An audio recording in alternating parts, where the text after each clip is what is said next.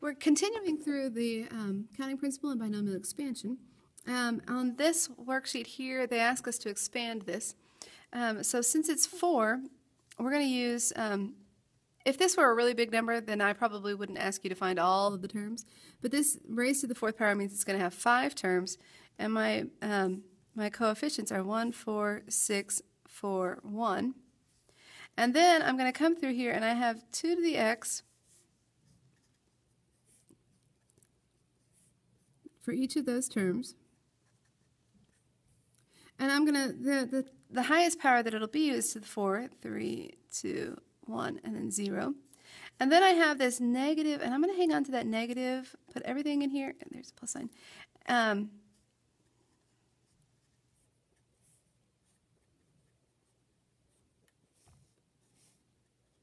Sorry, I didn't save myself quite enough space, but pretty close. Okay, now I need to raise these to their powers. Um, keeping in mind, these two always, the, the exponents always add up to this exponent here. So this is four, this is zero, then this is one, this is two, this is three, this last one is four. Okay, um, and now I have two to the fourth, which is 16x to the fourth. This goes to one. Then I have this uh, 2 to the third, is 8 times 4. Uh, I got sick over spring break. I'm sorry, I'm a little fuzzy. 32 times 3 is 96, but it's a negative because it's raised to the first power, so it's minus 96. X becomes raised to the third power, Y is raised to the second power. Then the next one, this is 9 times 4 is 36 times another 6 is 6, um, 216, and this negative becomes positive. Uh, the x is squared. The y is now raised to the fourth. Then I have 27 times 8. Well, okay, hang on. 27 times 2 is 54. 54 times, uh, is that another 216? I think so. Um, let me try this again. This is 2, this is 6 to the, yes, okay. this is 2 squared. That's 2 to the first. So there's, I have 2 to the third power times 3 to the third power, which would be the same thing as 6 to the third power, and 6 to the third power I know to be 216. Um, this negative, it's a negative to the third power, it stays negative, negative 216. x is to the first, y is now to the sixth. And then our last term, here's a 1, this is a 1, this gives me 3 to the fourth power is 81. It's a positive, and this becomes y to the, yep, 2 to the fourth is 8. Okay. So that becomes your expanded term. I wouldn't make you do this for a ton of different terms, but um, you could do it up to the fourth power, maybe even fifth.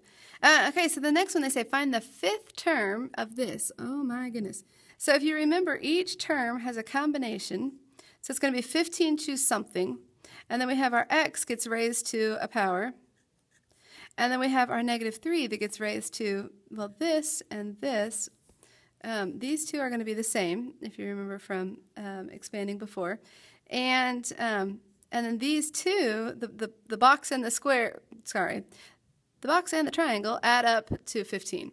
Um, so if we want the fifth term, if you remember the very first one, it would be 15, choose 0, then it's 15, choose 1, um, then 2, 3, then 4. So this is the first, second, third, fourth, fifth term. The fifth term is 15, choose 4. And so then this right here becomes a 4, and this one becomes 11. That's a little hard to see. So what I'm going to do is I'm going to say 15 choose 4 times x to the 11th times negative 3 to the 4th. And this one, I should find a calculator. I wouldn't expect you to do that on your own. Okay, so when I grab my calculator, um, I can go math. No, I lied to you. Um, options. There we go. Come over here. So I went options right here to probability. And then NCR right here is that combination. So I wanted 15, choose 4. And that right here is 1365 times x to the 11th times, um, we had said this one 81 a second ago. So now I need to take this number and multiply it by 81 and I get the fifth term of this sequence is 110,565 x to the 11th. Yep, there you go. Okay, and then one more example for this one. It says find the constant term. So we've got 12 to something. We've got x raised to a power, and we've got this negative 2 over x squared raised to a power. Well, what I want to do, okay, so we'll use those little triangles. This is a triangle, these match, this is whatever. These two have to add up to 12, and um, and these two are going to be the same. Okay, so when I have, I want to get, the constant term means that there are, there, it's x to the zero power. So I want the same number of x's in the numerator as in the denominator. Um, okay, so let's see if we have, if I let, um, and I'm kind of, once again, fuzzy brain, got sick over spring break. Um, if this became, um, let's see, if this is 5, that would be 7. So that would not work. Um, hang on, where's it?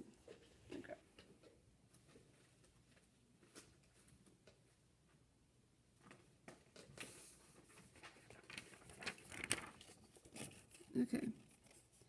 So I have x, if I said 1 and this became over x squared, this would have to be to the 11th power. This would end up giving me x over x to the 22nd, which is, well, 1 over x to the 21st power, which is no good. Um, so let's try something bigger up here. Let's say x is raised to the, um, if I did 6, no, 6 is, let's say 8. Okay, this becomes, in the denominator here I have this x squared. I'm just looking at this. These two have to add to 12, which gives me x to the 8th over, ah, x to the 8th. Okay, so Yay, fuzzy brain worked again. Um, so this one right here is going to be raised to the fourth power. This is going to be raised to the eighth power.